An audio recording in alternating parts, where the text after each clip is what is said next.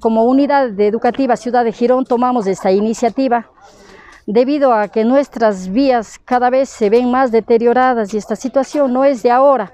Quizá la época invernal ha afectado más, pero usted también sabrá, pues como gironenses todos conocemos, las vías están totalmente afectadas.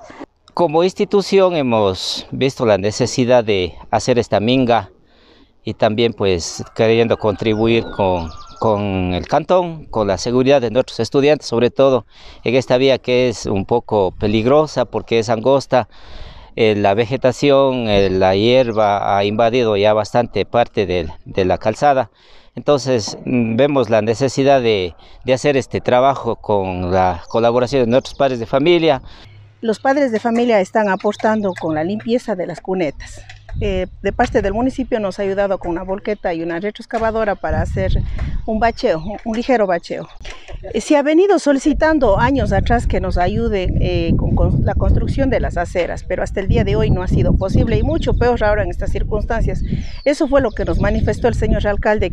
Hay molestia de un grupo de padres de familia, me incluyo también en ese grupo, en lo cual pues no estamos de acuerdo a que los padres de familia tengamos que salir a las vías, hacer minga, limpiar veredas, limpiar montes, limpiar cunetas, derrumbe, deslave que, que fue ya hace un mes y tampoco se ha dado mantenimiento.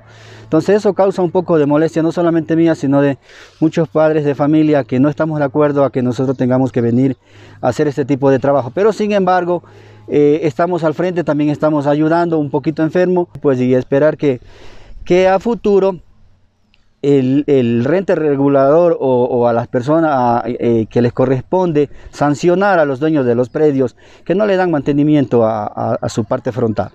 He pedido a las autoridades su atención, pero no he tenido la atención en su momento.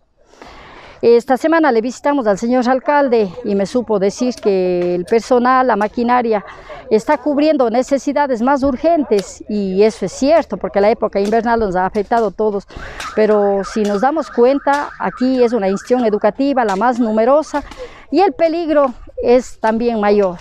He pedido también la ayuda al señor comisario municipal, pero solo ha quedado en palabras, todo ha quedado en papeles y no he tenido nada. Esperamos que la iniciativa nuestra sea un inicio para que nuestras autoridades y para que los dueños de las casas aledañas de aquí en adelante mantengan limpia las aceras, mantengan limpia la vía. Yo le entiendo, mi estimada señora rectora, con todo cariño lo que podamos hacer, siempre lo he hecho. Y que esto quisiera que las demás entidades, llámense escuelas, los clubes, hay algunos clubes, los barrios, ayudemos, limpiemos, demos un adelanto a Girón y no esperemos que solo el municipio nos esté haciendo.